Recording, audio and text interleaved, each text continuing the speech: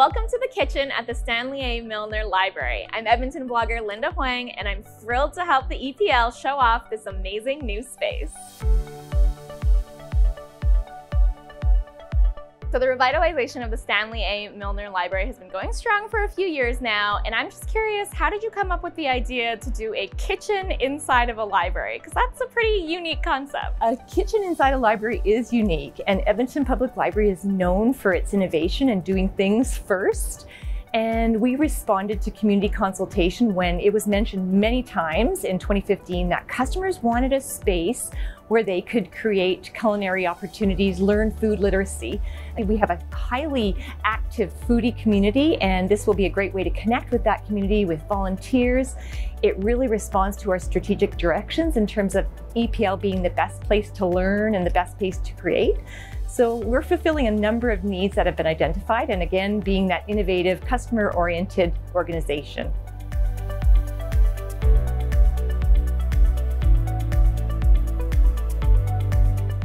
I love how open and inviting the kitchen is, and I'm wondering if you can tell me more about the space. The EPL kitchen was designed the way we design all the services at the Edmonton Public Library for learning, for experimentation, for curiosity.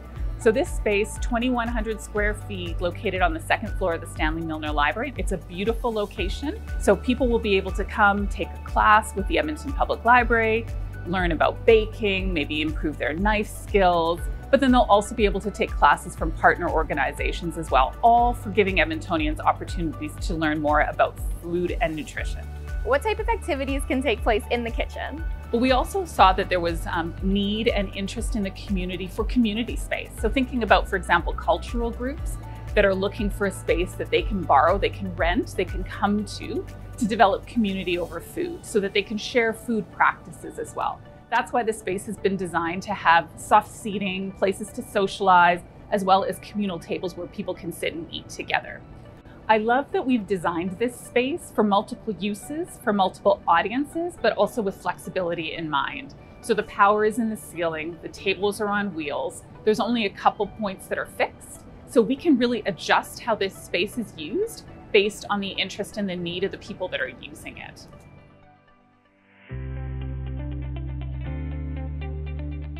So one of the, my favorite parts about this space is that you've really set it up in a way where you don't have to be a cooking expert or a pro and it's sort of welcoming all levels. So I love that. Can you share what your favorite part about the kitchen is?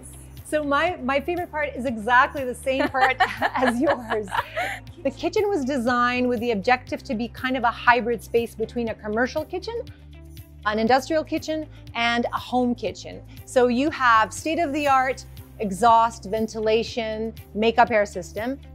We have baking ovens, commercial, six of them, eight really heavy duty stovetop induction ovens. So those are the commercial aspects of the kitchen.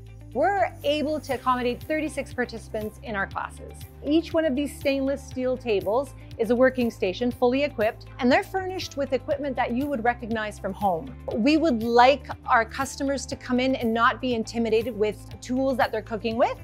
So I've noticed you've got quite an impressive spice rack area, uh, as well as a lot of products that are looking like they're uh, from local producers, local retailers. Can you talk about that? Our spice rack, or the shelf, is a reflection of our community-led philosophy. So, for example, if you were interested in how to cook with rose harissa, ask us. We have community experts, we have chefs, we'll answer your questions. Not only that, we'll make a whole lesson around those questions and you can register for classes.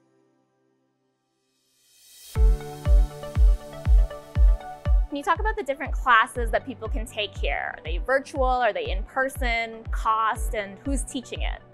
So when we're opening this space in the downtown library, we know there'll be live classes here. So people will come in, there'll be an instructor available to them, they'll take a class. But we know we'll also be able to do online classes as well. So from this space, be able to teach classes that people could take virtually at their home. And then maybe there's some hybrid model that would work with that as well. Like the rest of the services that we make at, available at the library, our goal is to make them as accessible as possible. So we hope to have a combination of courses and classes that are free, as well as low cost. And then sometimes when partner organizations are providing a class with EPL, there might be a cost associated. You're set up to make a lot of great food here. Is the kitchen a place where people can come and grab some food like a restaurant? While there is space for people to eat together, the primary purpose is not to serve food. So we're not trying to compete with any of the great restaurants that are already available in Edmonton downtown. We just want to make um, access to the resources that people would need to start learning about food, learning about nutrition more readily accessible. Where can people find more information about this new space? There's great information about the, the kitchen at EPL's website, www.epl.ca slash the kitchen. You can also send an email to the kitchen at epl.ca. So there will be great opportunities for people to reach out to us. We've been reaching out to partners. We hope to work with all sorts of different organizations as we start to animate, curate, create classes in this space, create opportunities in this space, but we're happy for people to reach out to us as well.